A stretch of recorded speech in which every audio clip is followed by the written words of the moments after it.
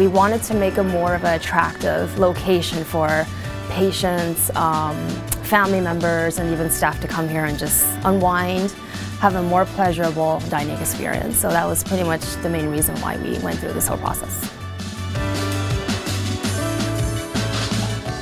We just want to make customers happy, patients and family comfortable. We had a lot of new equipment placed in. Um, in I would say improved traffic flow, which was an issue in the past. There's more room for customers to walk through, maneuver in, and find whatever they want to eat. And we just want to make the dining experience unforgettable here. We have a lot more variety coming in the picture. We've had a lot of new um, petite pastries available. We have the crème brûlée, um, we have the pizza station, we have burritos. It's really up to the customers of what they want to buy, but I think having that option is very important. The noodle station I think was a hit. It's quite new here at Bryan. It's all about healthy eating these days, um, light, warm, soothing food.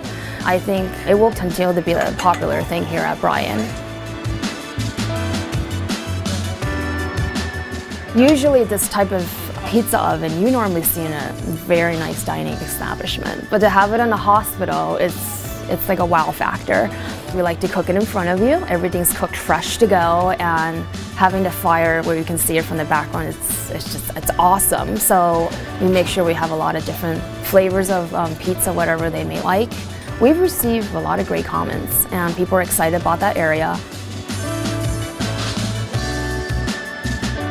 We wanted to just make the dining experience more pleasurable. We have music playing in the background. We want to make it relaxing. We have students here, nursing students, and I do see them coming in here just to sit down and relax, study.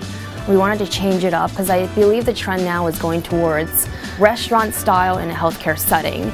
So with all the plush couches we have, all the awesome tables, we have the background scenery of the fish tank, we have the TVs, we're trying to take that element of hospital out. So when you go back to the floors or if you go up to go see a family member, we're hoping you feel refreshed on your way out.